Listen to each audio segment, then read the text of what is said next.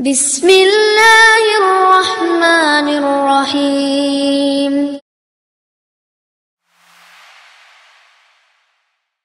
Jangan ada orang berkata aku sudah berkali-kali doa tapi rasanya Allah belum kabul hajat saya. Aku minta A tapi kok belum-belum diijabah. Ujung-ujungnya atau lama kelamaan dia merasa kayaknya saya belum fantas diijabah doa saya. Kayaknya karena berilaku saya masih belum jelas. Maksiat saya ini ini itu. Memang itu semua bisikan dan upaya dari syaitan supaya kita apa? Berhenti berdoa. Padahal al-muwaffaq man wuffiqa fi kathrati du'a yang sebenarnya mendapatkan taufik yang fokusnya hanya selalu berdoa. Dia tidak menunggu masalah ijabah bukan tugas saya. Tugas saya berdoa, Allah belum memberi ijabah berarti saya tetap menjaga tugas saya adalah berdoa. Dan ini yang membuat kita selalu baik sangka sama Allah Subhanahu wa taala.